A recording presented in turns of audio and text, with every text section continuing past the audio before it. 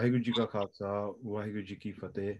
Um, thank you to everyone that's tuning in today uh, for this uh, discussion um, on the Panth Punjab uh, webinar. Um, today's uh, discussion is, um, as always with Panth Punjab, um, super timely and relevant, especially that's uh, with everything that's been going on and um, the increasing pitch of resistance and the increasing pitch of violence from the state towards the peacefully protesting farmers. Um, as you all know, the Panth Punjab project, it serves to facilitate critical discussions that analyze our current socio-political conditions and help us reflect on the future of our Sangharsh. Following the violent repression of the Sikh Jujharu Lehar in the early 1900s, uh, sorry, in the early 1990s, we have seen our local, regional, and geopolitical realities rapidly transform. Accurately pinpointing these changes is pivotal to us identifying the current problems that we need to address and the challenges on our path forward. The nation building and state building projects of the Indian state have entered a new phase, featuring a steady um, consolidation of fascism and Hindu nationalism um, with unbridled crony capitalism. Increasing centralization and the ongoing state repression of dissent um, within communities and not only um, has an ascendant Indian elite begun to flex its muscles on the global stage, but the political, social, and economic domination of Delhi has been further solidified within the subcontinent with the support of new foreign allies. This project will function as a collective platform for a new generation to analyze the context we exist in and map out the networks of power that have been mobilized against us and so we can together mark the signposts on our path towards collective liberation. And as we've seen on the 26th of January, um, the, the, the anger at the maintaining the state of status quo and the, the unwillingness of the Indian state to take the negotiations and the demands of the protesters seriously. We've seen that anger um, an effort to contain that anger from both um, the organizing structures um, within the, the farmers protest itself and obviously with, with the state and uh, in the Indian media. And that anger spilt out with the, uh, what we saw on the 26th of January uh, with the action um, at the Lal Killa. Um, and that's had uh, repercussions and reverberations all over um, the world. Especially in Delhi, we've seen a mounting crackdown on peaceful protesters. Um, and in addition to that, we've seen um, the continuation of the Indian state's tactics of silencing, silencing and violently repressing dissent. We've seen the, uh, the abduction and the arrest of protesters, of journalists, of even medical personnel that have been treating protesters and the police um, indiscriminately. And beyond the, the borders of the Indian state, we've seen suspension of online services and news channels, particularly from the Sikh community, that have been sharing um, credible news footage with uh, a clear centering on the Panth and its uh, political realities. And in that, we've seen the removal of uh, the Twitter pages of Sikh Siyasat, and as well as Panth Punjab, which um, as a project is still in its infancy. So the, the repression and the crackdown of the Indian state should be something that is um, a sign for all of us that these conversations have always been important, but in this particular moment, for us building collectively together, for us to look at the context and for us to um, challenge the, the, the, the, structure of power that's mobilizing against us is, is all the more relevant today.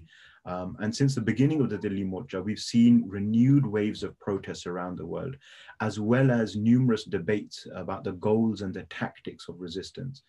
Um, today, we will speak with Harsha Walia about the lessons the diaspora should learn from those on the ground in Punjab and Delhi. And we'll discuss strategies uh, for us to effectively confront the, the, imperialism around the world, including the importance of grassroots organizing, direct action, and solidarity. And I'll hand it over to Gurnishan Virji to introduce um, our Benji. Ji Ka Ji. Um, so like uh, Shamsher Paji said, our um, our bulada for today is Benji Harsha Walia. And I mean, uh, she's done tremendous, tremendous, tremendous work in the community.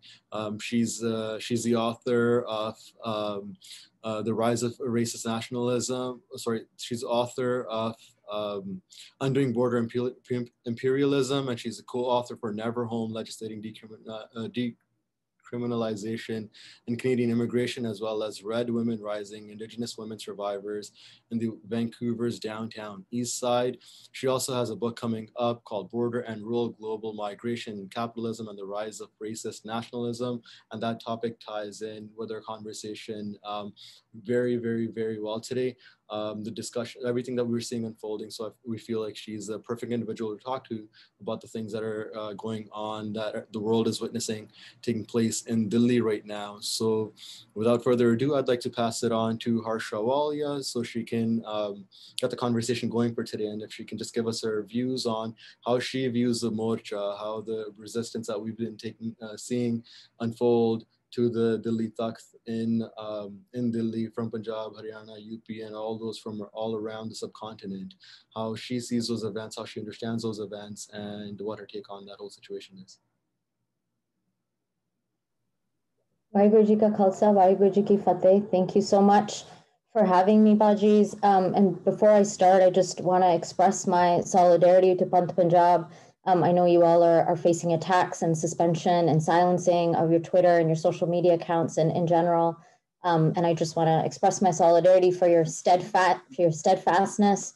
Um, and you know, and fateh, fateh to you, fateh to all of us. Um, I know that that we will we will get through this and we will win this um, in right? So I just want to start off in that way. Um, thank you all of us who are tuning in. I know we're tuning in from so many places. Good morning.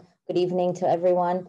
Um, so I understand our format is that we're going to mainly do a, a Q&A because we're also thinking about uh, questions and things on our mind. This is a really um, hard time for a lot of us in the Sangat, right? Our families are there in Delhi, our loved ones are in Delhi. We're worried about what's happening in Punjab and Delhi and elsewhere. So we're going to keep it um, as a kind of Q&A and also to think about the questions um, that Baji's posed in the beginning, which is how do we make sense of this moment and also what does this mean for strategies and tactics for all of us here in the diaspora about how we support and understand this moment. Um, so I'll, I'll start uh, with just, I think about 10 minutes is my initial time and then we're gonna open it up. Um, so first, uh, you know, just to, so this conversation today is about imperialism. Um, and you know that's a that's a big word, and, and even when Baji was introducing my book, I know that's a lot of big words. Um, but I know that we understand these words, right? Um, but I just I want to um, share what what I think of when I um, hear and use the frame of imperialism. And here I think of Edward Said, who is a Palestinian writer and Palestinian scholar and when Edward Said wrote about imperialism, he had a very easy to understand definition. And he talks about imperialism as, quote, thinking about settling on, controlling land that you do not possess, that is distant, that is lived on, and owned by others, right? So it's really about understanding uh, economic and political control over a people and a territory and a land uh, where you yourself do not live, where you yourself do not build community, where you do not have relations, where you are not accountable um, to anybody, right? So that's um, that's what he's talking about when he's talking about imperialism, and of course that ties in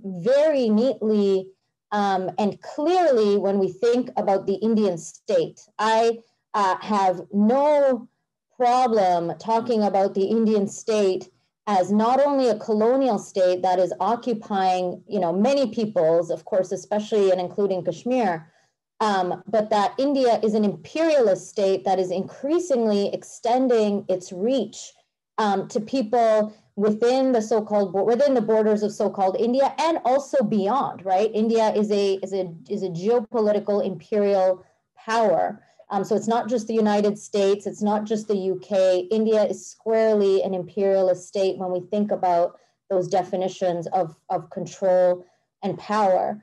Um, and of course, you know, one of the things, the ways in which we respond to imperialism, um, and you know, here for me, I invoke Shahid Bhagat Singh, who says freedom is an imperishable birthright of all, right? So anti-imperialist movements uh, invoke the spirit of freedom um, freedom as the counter to imperialism.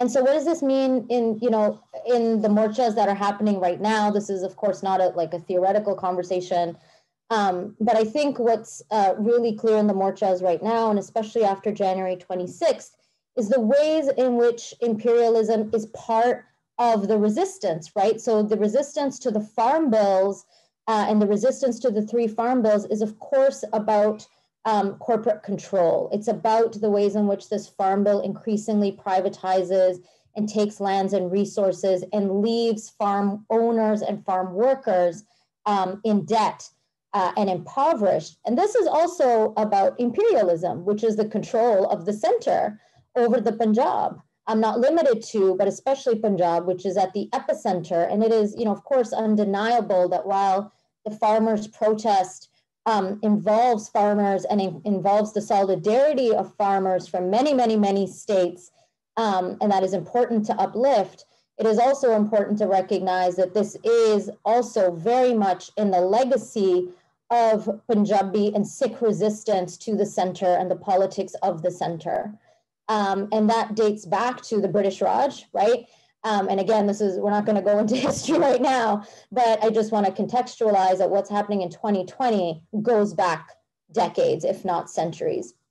Um, and the British Raj, ever since, you know, ever since partition, um, and especially if we think about the Green Revolution, um, and you know, I must say about the Green Revolution, very few people, uh, we don't, we, we rarely talk about um, the international dimensions of the Green Revolution, but I think it's important to emphasize and for all of us to know that the Green Revolution in India and all of the um, the harm and violence that it caused, right? So the Green Revolution was imposing industrial agricultural production in Punjab. This was actually a template for the world. This wasn't just an experiment in India. This was an imperialist, um, you know, deeply capitalist, you know, corporate capitalist agenda that internationally, um, international actors like the World Bank and the predecessors of the World Bank sunk their money into. So this wasn't, this was about the Indian state. And it was also a continuation of the kind of politics of the British Raj, right? Where everyone, where the imperial forces from abroad uh, were also involved in the decimation um, of land and livelihood in the Punjab, right? And it's as a result of the Green Revolution that we see this horrific legacy of farmer suicides and the fact that in Punjab, you know, there's so many statistics, but one that really um, speaks to the ways in which imperialism works is the fact that most farmers in Punjab have debt that is two and a half times larger than the rest of India. Two and a half times larger. Um, and debt is, you know, I'll just focus here on a second about debt because we're talking about imperialism and capitalism. Debt is like a key feature of imperialism and capitalism because the way that you keep people there's two you know there's many methods but two of the main pillars globally that you keep people oppressed and suppressed. One is of course military might right? Brutal state force um, brutal state violence which of course we see in punjab um, especially and including from the 1980s and you know the use of anti-terrorism anti-terrorism legislation the genocide the counterinsurgency. So all of that is the overt state force and military might. Um, and then the other is the kind of economic pillar of imperialism and capitalism and debt is a central one there right? Which is you keep people deliberately impoverished and you keep them beholden to you through debt. Um, debt of course predates capitalism, but it has really increased capital accumulation um, increases through the use of debt as a mechanism of discipline. And so um, it is, you know, really important when we're thinking about this current moment that we see the ways in which debt is operating alongside this more overt act of state violence. Um, and you know just coming now moving to the the current moment and you know what how do we understand the morchas i think those are some of the ways in which we understand the morchas right? Is that it's it's it's this long legacy of repression um, that the punjab and also farmers across india but again in this heightened way in punjab have have faced. It is as baji was talking about also the consolidation of hindu fascism um, and the rise of hindutva uh, which is you know it's important to, of course, name it's about Modi, but it's not just about Modi, right? Hindu fascism is baked into the Indian state since its very founding. Um, it's also very much about, you know, corporate control. Of course, Adani, Ambani, and all of the all of the corporations that are being boycotted. And here, I think it's really important to understand how Hindutva is not contradictory to global capitalism, right? Hindutva tries to present itself as a very kind of localized project, like, you know, here for the like, you know, the small farmers, we're here for the, um, you know, the, the very kind of parochial sense of Hindutva that it invokes. But Hindutva as a kind of populist ideology is not contradictory to global capitalism, right? Like Modi is one of the world's business, most business friendly leaders. Um, so he's a Hindutva fascist and he's a capitalist, and those are not contradictory. Those work perfectly together because both of those ideologies are about oppression at its core. Um, and in the Morcha now, I think the, the two things that I would highlight that we really have to keep in mind, and I think that the diaspora is really well positioned to push back against, which of course is why uh, so many, uh, you know, so many, for example, social media accounts are being silenced, um, is one is like just rejecting the ways in which the backlash to January 26th has been to, you know, um, for example, when the Nishan was raised at the Lal Killa, right? Right away, a lot of ways in which people responded that to that was to say, oh, but don't worry, we didn't, you know, the Tiranga is still on the red fort, right? Um, and you know, my position on that personally is like, you know, so what if the Nishan Sahib had replaced the Tiranga? what is there's in, in my view, there's nothing to be proud of with the Tiranga. The Tiranga represents bloody wars, it represents occupation, it represents state violence. Um, so it is important not to respond uh, with the kind of like, oh, but you know, we're good Sikhs, you know, we are patriots, we are, you know, we are Indians too, because that kind of nationalist narrative is just it's jingoism, and it bolsters the Indian state. And we know, uh, and all of us know, that it is, you know, those who have always been cast outside the state. Well, our politics can't rest in this in the Indian state, right? That will never bring freedom. And so, in these moments, while it can be a knee jerk and understandable reaction because there's so much backlash, people feel the need to prove um, their loyalty. I think this is actually precisely the time to say, no, we, are, we are loyal to, to freedom.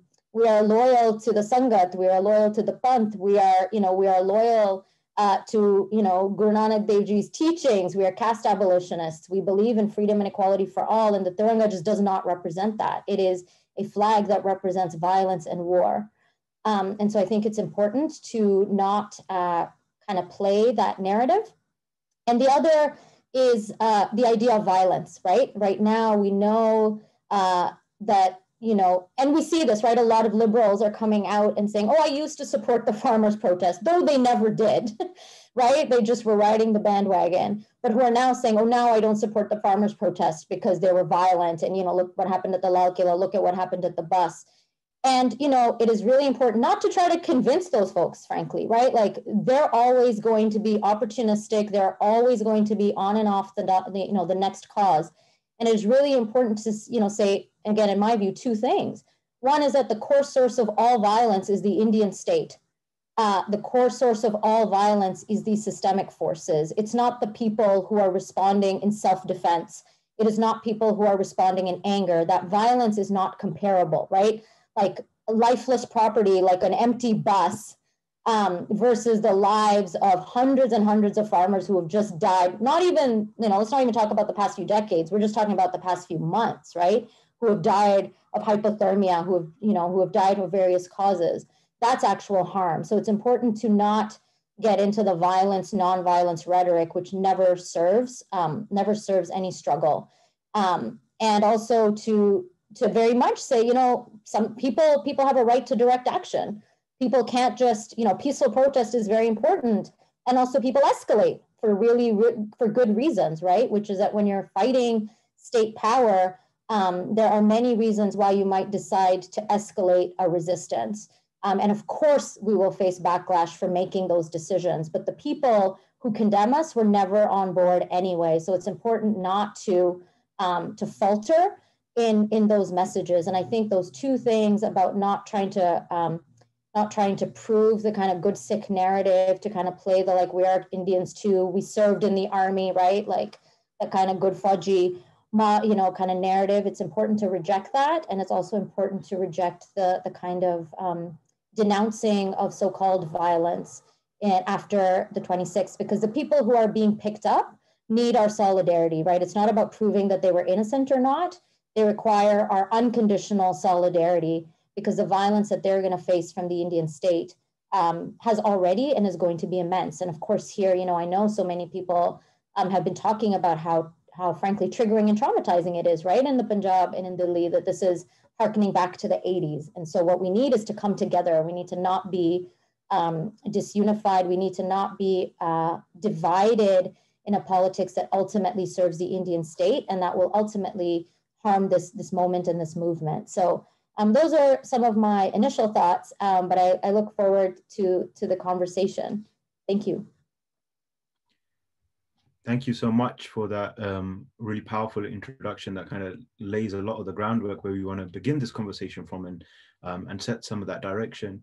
Um, and, and like you were saying, the Nishan Sahib represents all of those challenges that you outlined to the Tiranga and to the Indian nationalism. And, and it, in the opinion of, of a lot of Sikhs that I've spoken to, that's precisely why it was raised to show that there is a deeper clash underlying just um, you know, the, the um, agitation around the bills. So uh, just to kind of begin with, um, can you um, share your initial thoughts and reflections on, on the resistance that we've seen in Punjab and Delhi and what lessons um, we should learn uh, from that in terms of how we organize in the diaspora? Yeah, thank you for that question. Um, and I have to say, you know, probably like all of us, I'm so inspired for many reasons.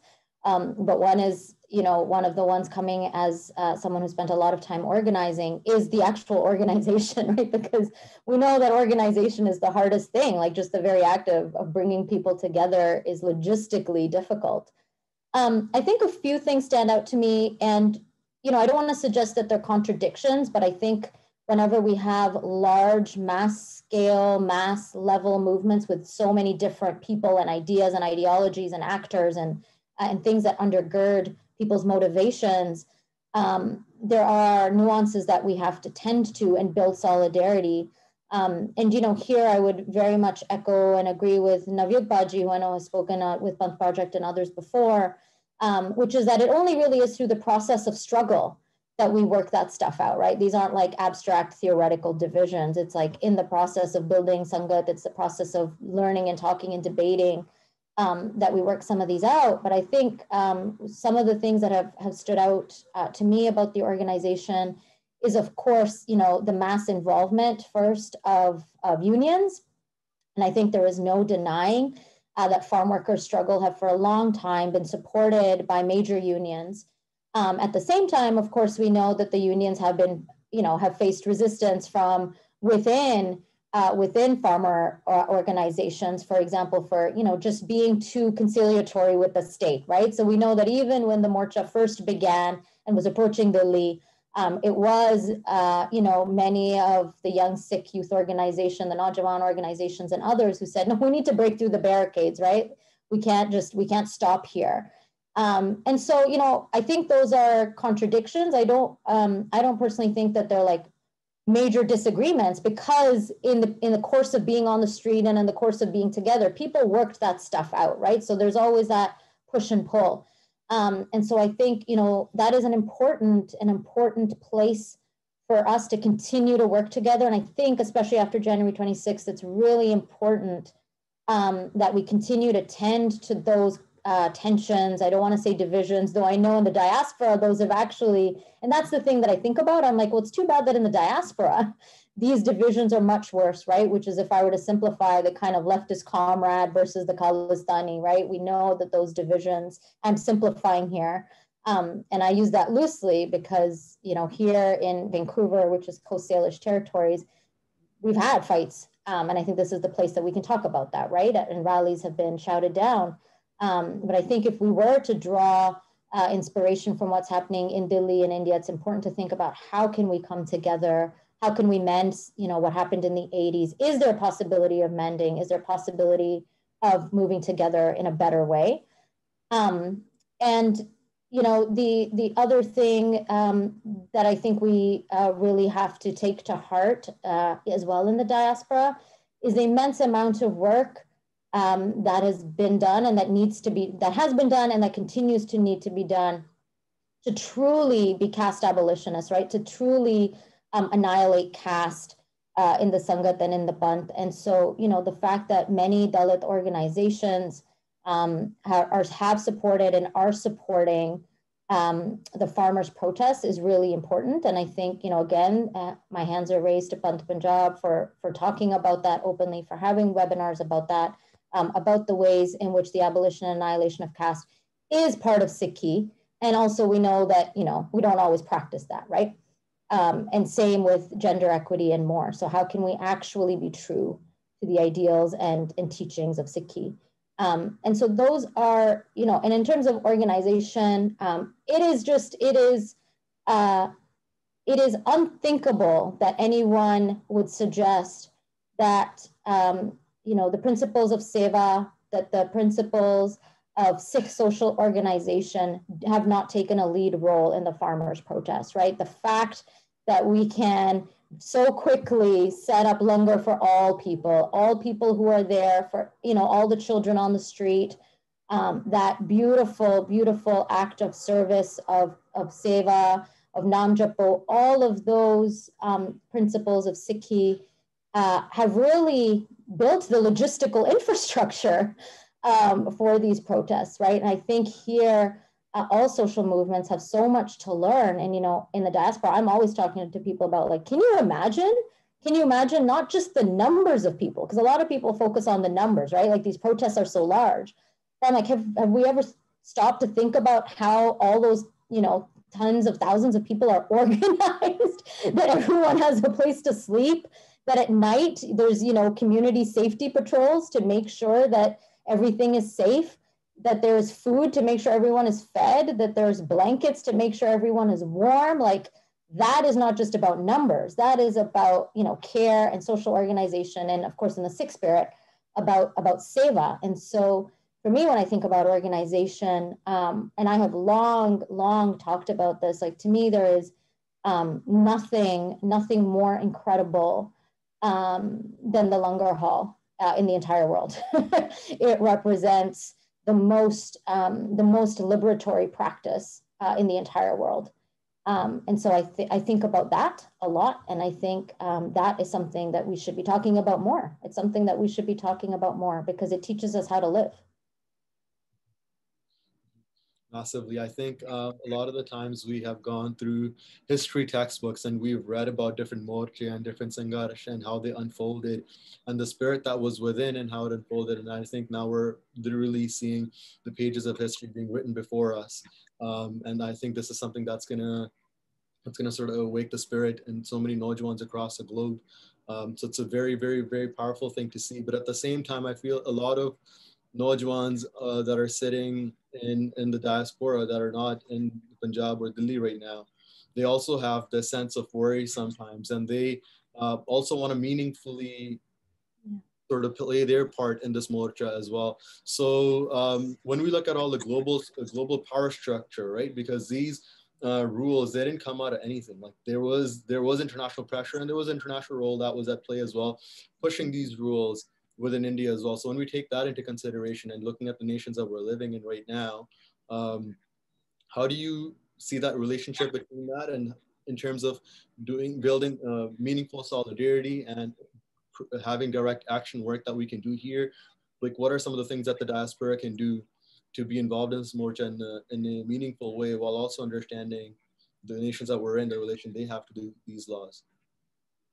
Yeah, that's a great question, Baji. And, you know, I think about that a lot because I think in general, a lot of kind of global solidarity is this feeling of exactly as you said, right? Like um, powerlessness and being in the diaspora, like just so far away, wishing we were closer, feeling, you know, powerless, guilt, inspir- like all of those feelings at once. Um, and it can be very powerful and also very demobilizing. Um, and, you know, that feeling of like, what can we do? What can we do? Um, and of course, you know, donating money is often the first thing that comes to mind because it is, it, it's easy, it's in and it's practical. Um, it's and it's quick. It's individual. You know, we can just do it individually from our bank accounts. Um, but I think you know if a, a big part of what we can do I think is actually things like this, right? How do we, because so much of the morcha is, for example, educational work, right? We know that on the stages, there's movies, there's speeches, there are libraries. it's building our political consciousness, our social consciousness. Um, so I think part of being the morcha is about, um, again, that act of coming together, right? The act of coming together, we can't underestimate because there is, there's no power in one person. And that's something the morcha has taught us, right? There, each person has power, but the, the movement moves with everybody, right? And so we can't do, there are things we can do individually, but it, it won't have an impact because resistance is in struggle is collective. We have to build collectively. And so I think all of the ways in which we can come together to, to talk, and especially in COVID when we can't meet, um, you know, rallies, uh, the kind of, you know, the rallies are so important, but I, I, I, I feel you. I feel that there are a lot of, um, there's a lot, there's a lot more that we could be doing. Um, and here I think about, you know, it's occurred to me that a lot of rallies that have happened, at least where I'm located, um, you know, they tend to they tend to be outside the Indian embassy. Um, I've been part of actions where you occupy offices, so I think there's you know the possibility of bringing more heat uh, to Indian officials in the diaspora. I know that a lot of times um, our efforts are focused on um, lobbying our politicians to take a stand, to speak out, right? The power of having kind of Western politicians or politicians located in the West and I think that's that's fine and important, but I think you know ultimately that doesn't really make a dent in international politics, right? Um, and so I think those are you know thinking about uh, escalating, thinking about escalating and forcing um, kind of foreign Western governments. And here, I think a big part is looking at things like trade agreements, right? What are, what are the trade agreements that Canada or the UK or the US have with India? what are the Western state and corporate interests in this? Um, and so, you know, finding targets um, where we can apply directed pressure, um, I think is another route to consider, right? Like, how can we directly impact and force um, and put pressure on the Indian state Indian forces of capital, as well as you know UK, US, Canadian, etc. state and their their companies that are invested in in um, you know part of this part of the farm bills or part of the lobbying, I should say, for the farm bills.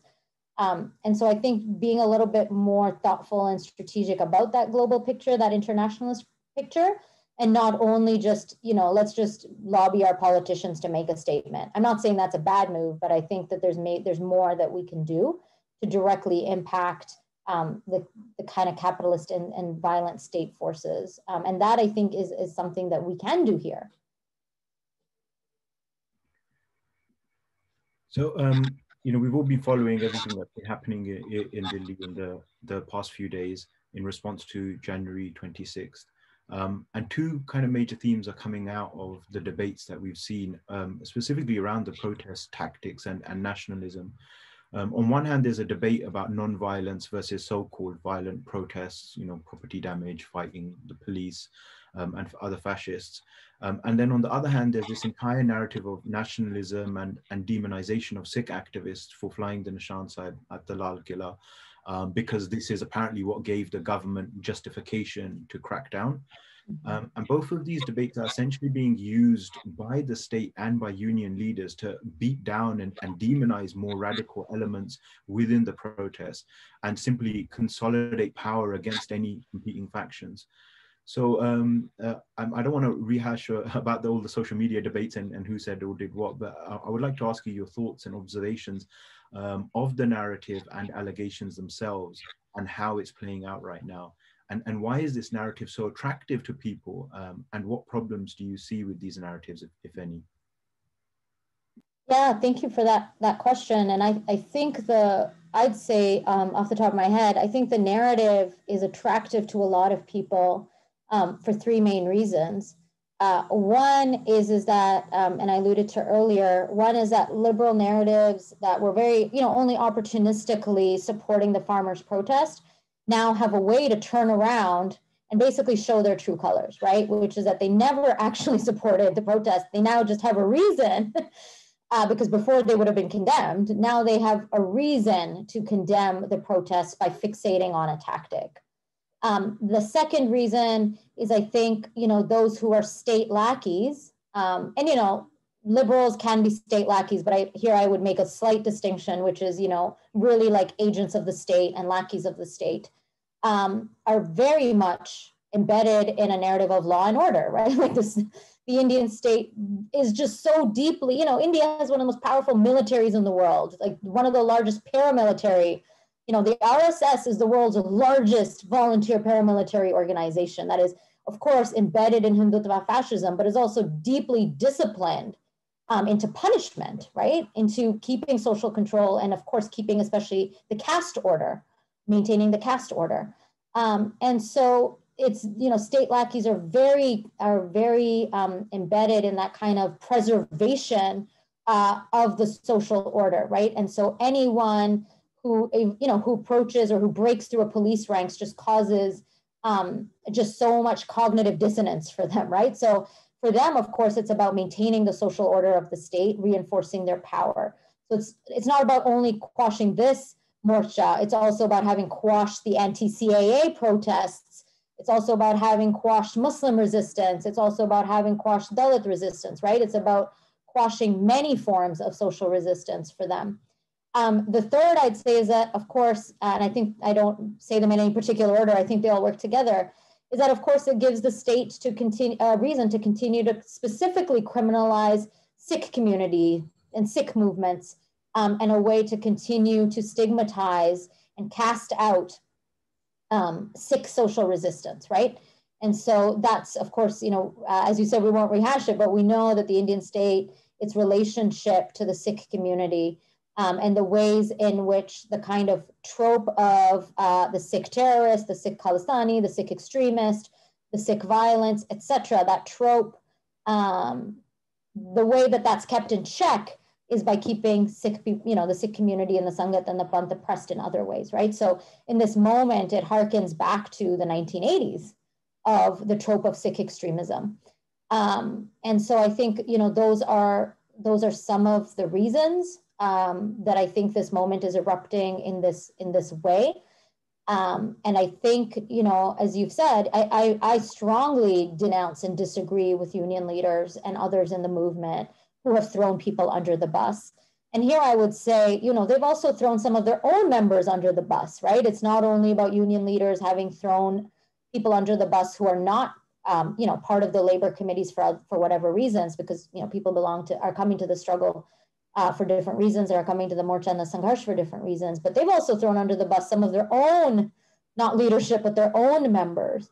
Um, and this is a tactic that unions all around the world, right, as they get bigger and as, you know, that's part of the push and pull of being in talks with the government. You think that you're approaching an agreement, so you're worried about it having been jeopardized and that's what power does right? Power makes us compromise in uh, in unfortunate and unethical ways. But i think absolutely uh, what the whole leadership what the whole morcha what the diaspora what we all need to be doing is pulling in the same direction which is offering our unconditional solidarity um, for people who acted on january 26th and not to let this be a moment. And we've seen this happening already and it's it's really troubling right? Which is now the Indian state is using these fissures and this moment to criminalize and crack down even more. We opened up this webinar talking about the raids that are happening. You know, even tonight, I'm just before we started, just reading the news about all the raids that are happening in Punjab right now, as well as in Delhi.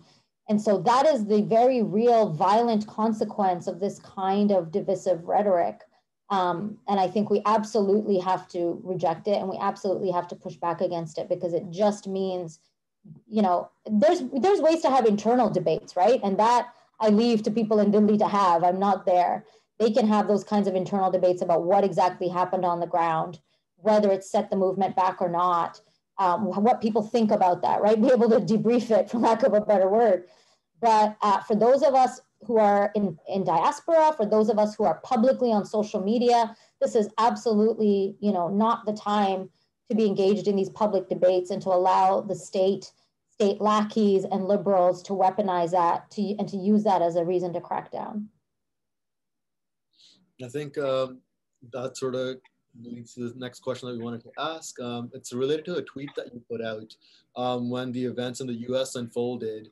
And there was a mass call around the US and in Canada as well to label the right wing groups as a terrorist. And on surface, it seemed like the right move to do, but you sort of came out opposing that whole framework of labeling organizations or individuals as terrorist organizations. Um, can you talk about that a little bit and in the context of like the, the things that we've seen that have happened against Sikhs in Canada as well, and how that framework can be used by the state in general?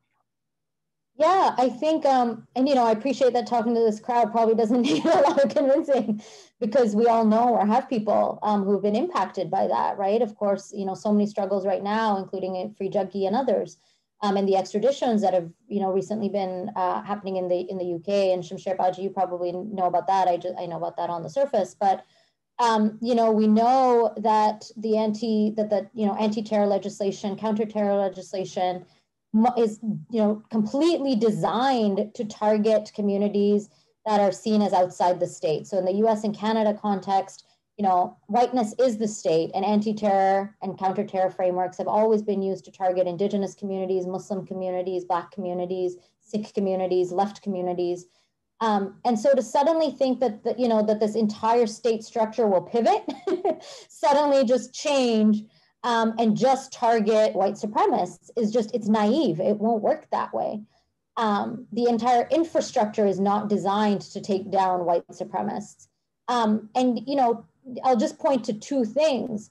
One is that, you know, while people are talking about adding Proud Boys in Canada, the white supremacist organization Proud Boys, and the House of Commons just unanimously passed a motion, which is not binding, it's just a motion, um, to put Proud Boys on that list there's no talk about removing everybody else from that list, right? What about the other 55 organizations that are still on that list, which are mostly Muslim organizations, includes a, you know includes Sikh organizations, includes Palestinian organizations, Kurdish organizations. Are they still going to stay on the list, right? So while you may, you know, in the ideal sense, and you know, wave the magic wand, think the state does work the way it's that we think it will, though it won't. But let's say for a moment it will what happens to all of those other organizations? They're still on the terrorist list, right? So the one thing that stood out for me is there's no, first of all, there's no parallel call to get rid of that list for everybody else. And there's nothing saying like only put white supremacists on this list, right? So that list will keep growing with its, you know, two token white people or white supremacist organizations and everybody else still on that list. Um, and the other thing that stands out to me is that you know one of the key features of anti-terror legislation in Canada, which I'm most familiar with, I don't know about other states, but in Canada, one of the pillars of anti-terror legislation is deportation. So what it does is it expedites the ability to deport people, right? So if there are permanent residents, if there are refugees who the Canadian state deems to be a security risk, the Canadian state can deport those people faster and that is one of the consequences of anti-terrorism is to continue is you know cast people as threats and outsiders which is a racialized idea and then to get rid of them through expulsion and deportation. So what are you going to do with white supremacists? Where are we deporting them to right? Um, to nowhere. So it's like a smoke and mirrors because again this entire system is designed to target racialized communities and then where possible deport them. Um, so you know using anti-terror legislation to maintain whiteness um, doesn't really actually do anything. Um, and so, you know, that's that's my main concern. And that, you know, in the long run, if the state continues to get more powers, our communities are going to be the ones who are marginalized, right? Our communities are going to be the ones who are targeted. When this moment passes, when suddenly everybody forgets about the Proud Boys, everybody, you know, stops clutching their pearls, that's what's going to happen. We will continue to face the national security state but there will no longer be opposition to it because now suddenly it will be normalized, right? People will be like, oh, but it's not so bad. There's some white supremacists on it. I'm sure the other people are bad. Um, and so inst- I think it needs to be dismantled. I don't think it's a it's a an apparatus that can be reformed. Uh, and by that, I of course am in no way saying that we don't need to tackle white supremacy. Of course, right? I just think using the national security state will in a be ineffective um, and B, end up having the long-term effect of criminalizing um, and stigmatizing and causing more violence uh, on racialized communities. So we, we've seen um, how, uh, actually before I ask this question, I, I know I noticed um, a bunch of people are asking questions in the Q&A function. Please uh, do use that function and we'll come to um, the questions shortly. Good. Sorry, I didn't see those. Will you ask those or should I be answering them? Yeah, well, we'll ask those to you. Okay, perfect. Okay, um, so um, so uh, essentially, yeah, this is the last question from us. Um, so we've seen how fascist mobs have, uh, mobs have been gathering at the protest sites, um, and how they've threatened violence and are trying to provoke riots while the police uh, look on. Um, any thoughts on how to fight um, a literal fascist regime? Man. um and this is like for a lot of Sikhs, right? This is evoking a lot of trauma because of yeah. what happened in Delhi, like yeah. to our parents' generation, which has completely been unresolved despite so much engagement with the state. So, seeing people's reaction to the Nishan Sahib on uh, the 26th, like a lot of Sikhs, I feel, felt that we've kind of gone too far. We've provoked India, and we know what happens when we provoke. India, right? Yeah, yeah, and I think you know that's a real question, right? And that's why. Um, in my view, a lot of this is sorted out in Punjab on the ground and in Delhi on the ground because we just we don't know there you know the ins and outs of how those decisions are made. Sometimes those decisions are made on the spot.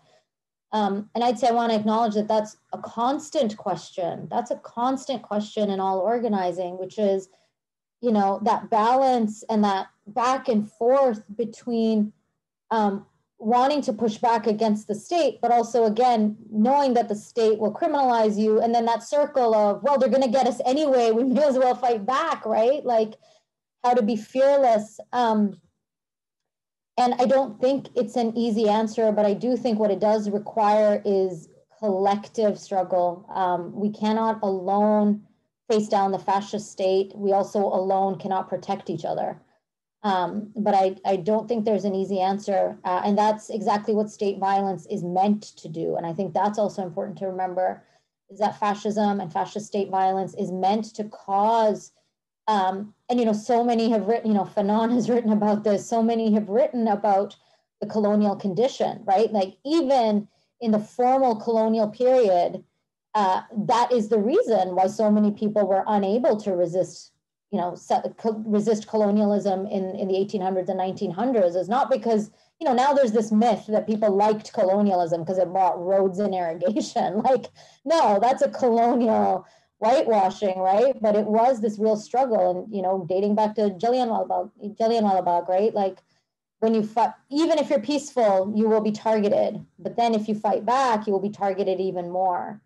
Um, and yeah, I, I, I don't think it's an easy answer, but I, I do, as a general principle, um, do think that we have to fight back because the reality is that fascism is going to squash us regardless, right? Like it is going to kill us regardless. Um, but I'm not saying that as, you know, in a way that is not attentive um, to those traumas or those triggers. I think we have to find a way uh, to deal with them, to talk about them, and to find a way uh, to fight back in a way that feels powerful, that doesn't make us uh, targets of harm. Um, and, and also being prepared for that, right? Um, these are also, you know, debates that were happening in the civil rights movements in the U.S. Like, and just naming these to say that this is a very real. What we're feeling now, um, maybe we can draw some inspiration and some hope from our own history, and also from other communities' histories to know that that is the dilemma that everybody faces every time during struggle how to fight back without facing state repression and also knowing that state violence is omnipresent no matter what. Um, and that that is a that's always going to be there. So i don't have um, a clear cut solution other than to say that that we are thinking about this and that we are facing this is intentional. Mm-hmm. and any um, any thoughts on how all the energy that the Naujawans have in the West and diaspora to channel that energy to maybe dismantle the structures that we have here that are also proposing or putting forward some of the same injustices and some of the same um, the same state violence against the communities here. Any thoughts on that? Yeah, I mean, I think you know this is. Um, I have a lot of thoughts, and a lot of this uh, for me comes from um, uh, having you know having organized as a Sikh woman in a in a lot of in a lot of struggles um, and i will say you know one of the the challenges that i've faced for a long time there's many Uh, but one is that, you know, a lot of times uh, when Sikh Naujawan are involved in struggles that are outside the Sikh community, those are not seen as somehow involving the Sangat. And I think that's not true. I think that we have to think about the, you know, how do we do seva? And, you know, again, um, here I think about uh, Guru Nanak Dev Ji, how do we do seva for all? Um, and so when I think about, you know, what it means to be in solidarity with the morchas in Punjab and in Delhi and how do, what do we do here in the West? I think about, for example, okay, what are farmer struggles here? What are farm worker struggles here?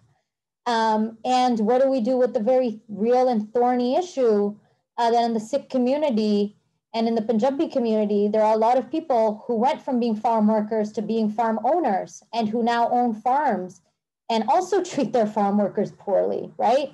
Who, who employ migrant workers. Um, and I think those are questions that we don't see as part of Sikh community struggle.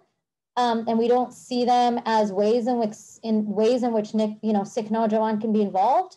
But I see, for me, I very much see a connection because that is our obligation um, to Sangharsh for all people. Um, I also think about, you know, what are ways in which if we are thinking about, uh, if we're thinking about Punjab, if we're thinking about land, right? A big part of, of struggle uh, for farmers and, and, in Punjab is of course about land, right? It's about, um, it's about our rivers, it's about the land. What does that mean for the lands that we're on now, right? What does it mean for those of us who are in the US or Canada? How do we show up for indigenous peoples and other people who are fighting for the land? um, who are trying to maintain uh, our, our, you know, our, our food sovereignty, who are trying to maintain the waters as clean. Um, and, you know, I, of course, and I've said this before and earlier is, you know, what are the ways in which we here are not reproducing uh, and are fighting against caste hierarchies, right? Um, how are we ensuring that, uh, you know, caste oppressed voices are in fact part of, of um, of our conversations. And so uh, I think part of this, the struggle in the diaspora is also expanding what we think as the Sikh responsibility and the Sikh role in the communities where we live. Um, I think it means taking up and acting on police violence, right? Our communities, like it's impossible that we are, you know, sitting here condemning the violence in Delhi and here think about becoming cops. like, what do we think we're going to be doing, right? What do we think we're going to be doing as police officers here in the diaspora? So I think it's there's sometimes a strange kind of way in which we talk about uh, what's happening in Punjab or Delhi or India as just over there, but not also those same kinds of violences here. Um, and so, you know, those are just some ways in which I think we can be involved. And, you know, absolutely to fight back against the criminalization of Sikh resistance. I think a key issue in the diaspora is um, is the ways in which, uh, and especially in Canada, the ways in which Sikh organizations have been targeted, um, have been placed on terrorist lists, are you know facing extradition or facing deportation. These are just you know some of the many ways I think in which um, being in solidarity means also acting locally. Mm-hmm. And I think you made a very strong point about the distinction between how we separate what's happening over there versus how we live in the West. Because if you look at it from a Sikh or a Panthic standpoint, there is no difference. If you're a Sikh, human body as a Sikh and being part of that Panth is the same, doesn't matter where you are. Just because we've moved the borders of Punjab, right? It's uh, so that's that was a that's a really good point. I think the, a lot of individuals need to think about it. But now we'll be moving to the questions from the Sangat. And one of the questions we have is, um, uh, thank you for acknowledging some of the divisions and tensions between the left and the Sikh movements. A lot of misunderstandings are worsening. Uh, that many of us are relying on at 24-7 news cycles, media speculations, and social media, also uh, social media echo chambers for our information. Can you talk about how to reconcile some of those tensions today?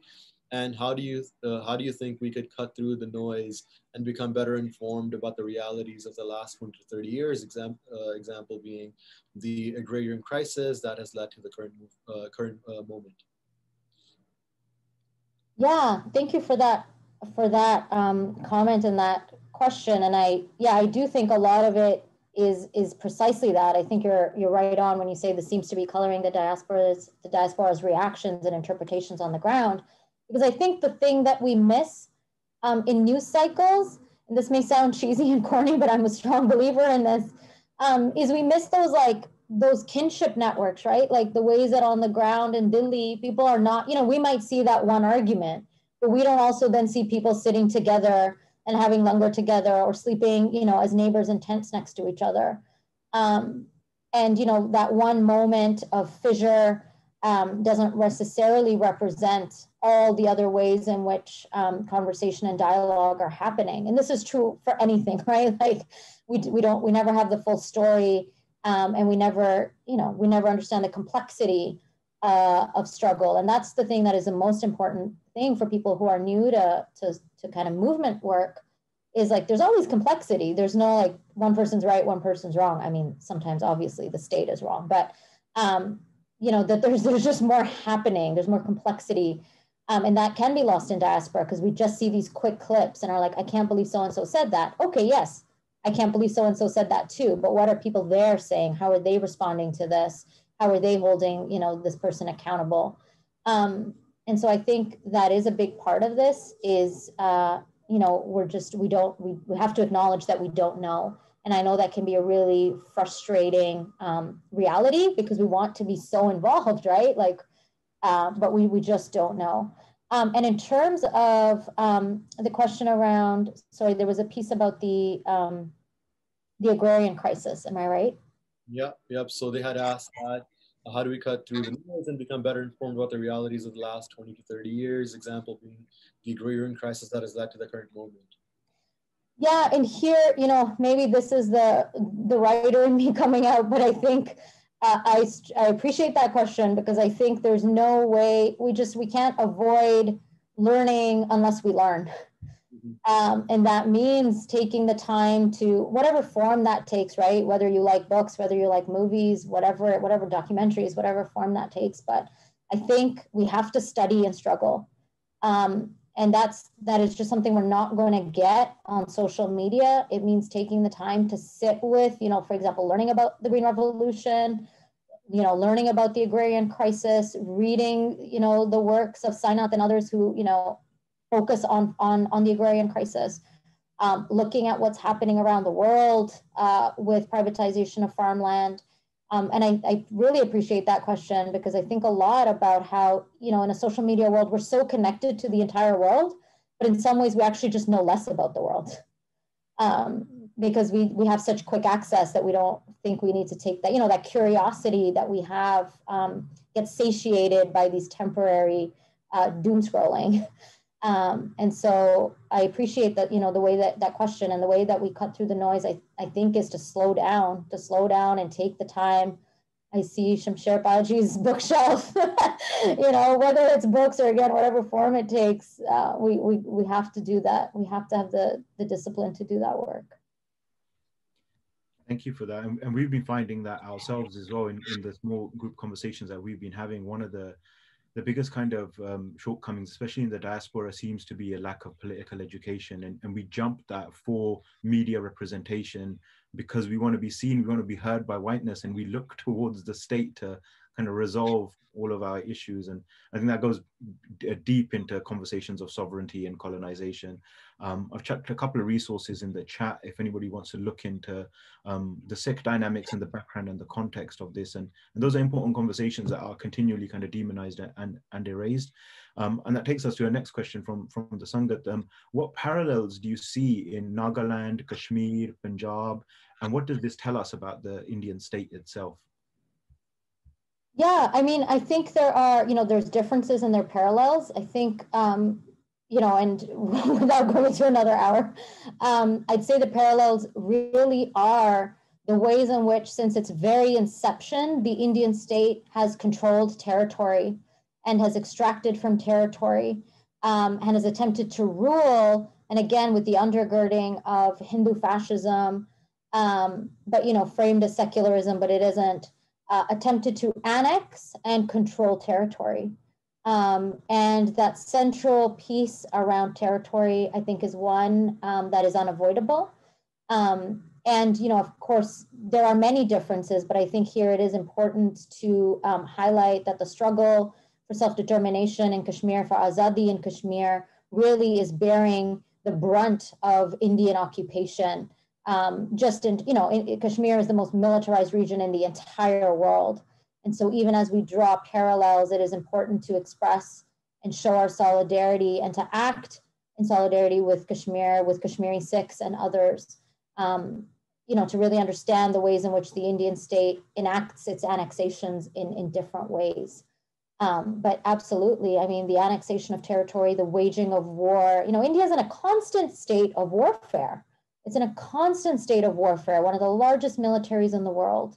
Um, and again, you know, that's just the overt use of military force. And then we also have the coupling of that with economic power, right? The ways in which the center has controlled Punjab, the ways in which the center is pushing through special economic agreements in Adivasi lands and tribal lands uh, throughout the Indian state. Like there's just there's a there's constant um, annexation and land grabbing and controlling um, by the center, and uh, you know that is that is just the reality. That is like a, that is not an ideological statement. That is a factual reality of the Indian state. Not a single year has gone by since 1947 where India has not waged some kind of quote unquote foreign or quote unquote domestic war. The next question uh, from the Sangat that we have is What are some useful ways for us in the diaspora to respond to people in our own community that block and shun people from taking direct action against India and the things that they might be saying it'll it'll make it worse or they will say that we are X Y Z et cetera et cetera et cetera. Um, you know, I don't I don't know if this is good advice or not. Um, but I'd have to say, you know, now I'm I'm older and I'm in a, you know, quote unquote more respectable kind of paid job. But for 20 years of my life, um, I was shunned by a lot of gatekeepers in the Sikh and Punjabi community for being someone who advocated direct action, who engaged in direct action, um, who, and who also expressed solidarity um, in the Panthic spirit with people who are seen as, you know, undesirable, including, you know, women in the downtown east side, indigenous women, people who use drugs, sex workers, etc. Um, and, you know, I've had, you know, Punjabi and Sikh radio broadcasters um, go on their talk shows uh, and call me, you know, Batchala and call me a terrorist. And so um, the reason I'm talking about myself here is to say there is no avoiding the fact that that will happen. Uh, the decisions that we have to make individually and as a Panth is whether that is something we're willing to take on. Um, because the reality is, is there are going to be gatekeepers. Um, you know, some people like our parents maybe saying it for different reasons, right? That comes from a place of love and concern. So I'm not intending to lump everyone together.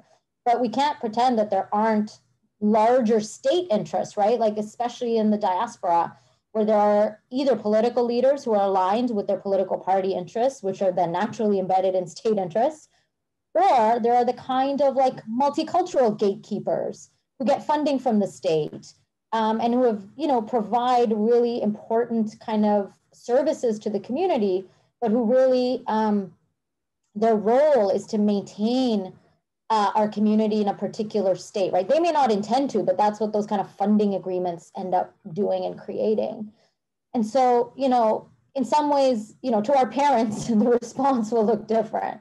Um, but there are going to be people that we cannot convince, and we can't we can't pretend we can convince them because that is their social location. It's not about you know individually convincing them because someone else might replace them and that person will be in the same role. Um, so what do we say to those people? I mean, maybe, you know, start with a conversation, of course, you know, try to figure out what their, what their disagreements are.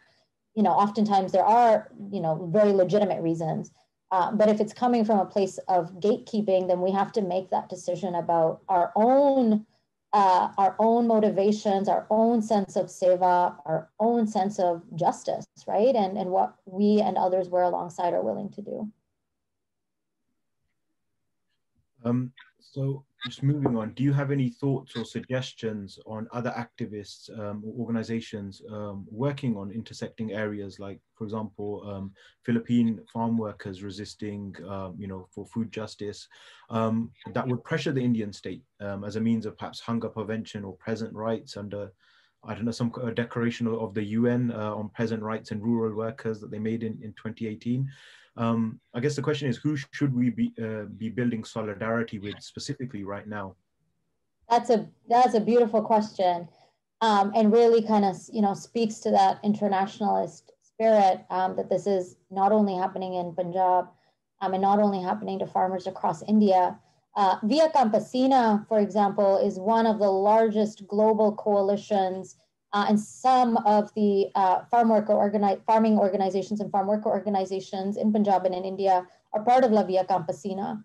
And La Via Campesina is this global coalition that includes peasant movements from around the world, um, including, of course, you know, one of the most formidable um, movements of peasants, which is the Landless Workers Association, the landless workers uh, in Brazil, MST.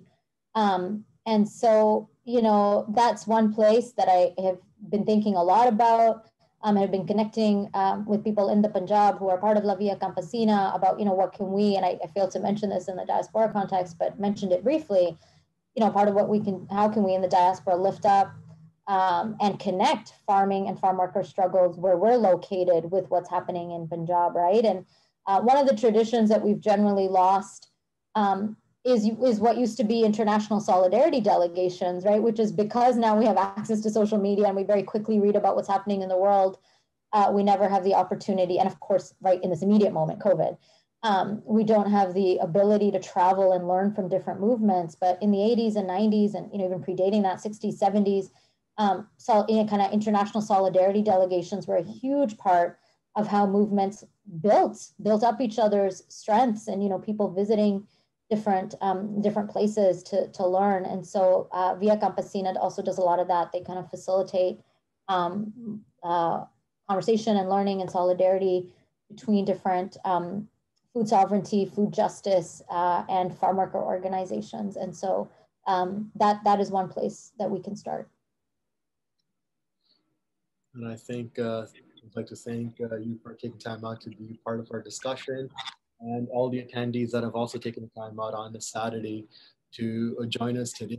And please do follow all our social medias. We're still on Facebook and Instagram, but also do know our website, panthpunjab, uh, panthpunjab.org.